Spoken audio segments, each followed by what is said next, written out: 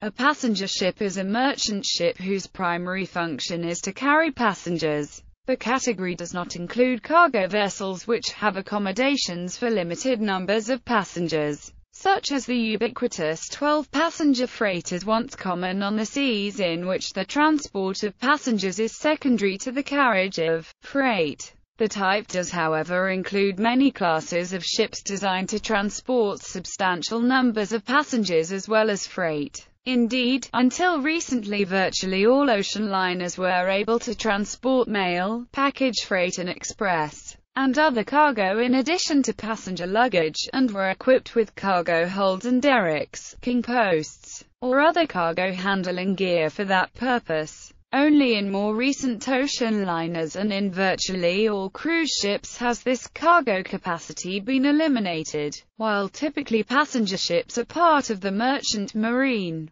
Passenger ships have also been used as troop ships and often are commissioned as naval ships when used as for that purpose. Types Passenger ships include ferries, which are vessels for day or overnight short sea trips moving passengers and vehicles, ocean liners, which typically are passenger or passenger cargo vessels transporting passengers and often cargo on longer line voyages, and cruise ships which often transport passengers on round trips, in which the trip itself and the attractions of the ship and ports visited are the principal draw. An ocean liner is the traditional form of passenger ship. Once such liners operated on scheduled line voyages to all inhabited parts of the world. With the advent of airliners transporting passengers and specialized cargo vessels hauling freight, line voyages have almost died out. But with their decline came an increase in sea trips for pleasure, and in the latter part of the 20th century ocean liners gave way to cruise ships as the predominant form of large passenger ship with the main area of activity changing from the North Atlantic Ocean to the Caribbean Sea. Although some ships have characteristics of both types, the design priorities of the two forms are different. Ocean liners value speed and traditional luxury while cruise ships value amenities rather than speed. These priorities produce different designs. In addition, ocean liners typically were built across the Atlantic Ocean between Europe and the United States or travel even further to South America or Asia, while cruise ships typically serve shorter routes with more stops along coastlines or among various islands. For a long time, cruise ships were smaller than the old ocean liners had been, but in the 1980s, this changed when Knut Kloster, the director of Norwegian Caribbean Lines, bought one of the biggest surviving liners, the SS France, and transformed her into a huge cruise ship, which he renamed the SS Norway. Her success demonstrated that there was a market for large cruise ships.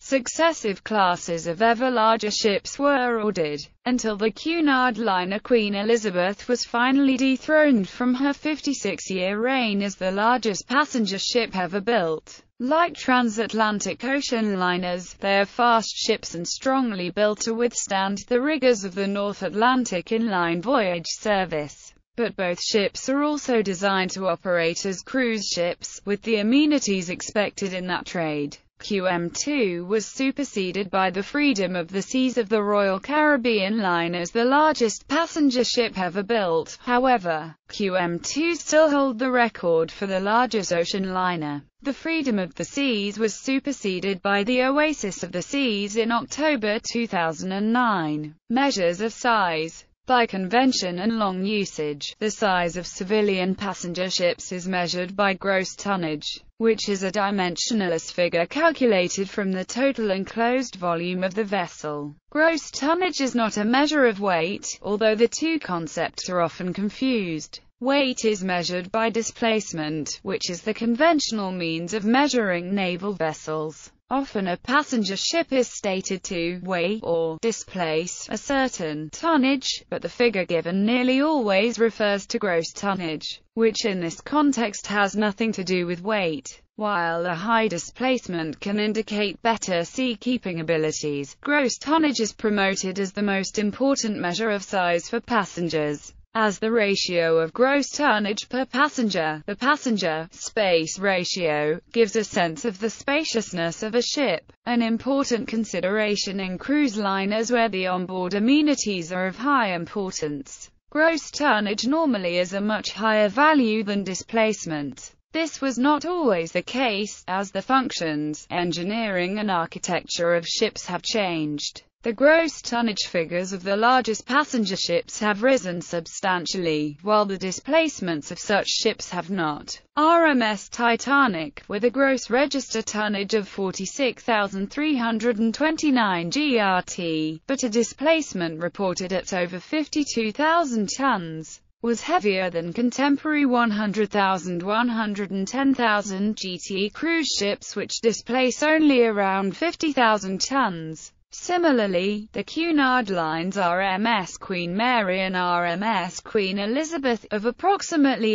81,000-83,000 GT, but displacements of over 80,000 tons, do not differ significantly in displacement from their new 148,528 GT successor, RMS Queen Mary 2 which has been estimated to displace approximately 76,000 tons with the completion in 2009 of Oasis of the Seas, the first of the Oasis-class ships. The Cunard Queens of the 1930s have clearly been passed in displacement, as the Oasis vessels were projected to displace about 100,000 tons. The Oasis of the Seas measures over 225,000 GT, over twice as large as the largest cruise ships of the late 1990s. Safety regulations Passenger ships are subject to two major International Maritime Organization requirements to perform musters of the passengers within 24 hours after their embarkation and to be able to perform full abandonment within a period of 30 minutes from the time the abandoned ship signal is given. Design considerations Passengers on ships without backup generators suffer substantial distress due to lack of water, refrigeration, and sewage systems in the event of loss of the main engines or generators due to fire or other emergency. Power is also unavailable to the crew of the ship to operate electrically powered mechanisms. Lack of an adequate backup system to propel the ship can, in rough seas, render it dead in the water and result in loss of the ship. The 2006 revised passenger ship safety standards address these issues, and others, requiring that ships ordered after July 2010 conform to safe return to port regulations. However, as of 2013 many ships remain in service which lack this capacity. The International Ice Patrol was formed in 1914 after the sinking of the RMS Titanic to address the long outstanding issue of iceberg collision. After October 1, 2010, the International Convention for the Safety of Life at Sea requires passenger ships operating in international waters must either be constructed or upgraded to exclude combustible materials. It is believed some owners and operators of ships built before 1980, which are required to upgrade or retire their vessels, will be unable to conform to the regulations. Fred Olsen's Black Prince, built in 1966 was one such ship, but was reported to be headed for inter-island service in Venezuelan waters.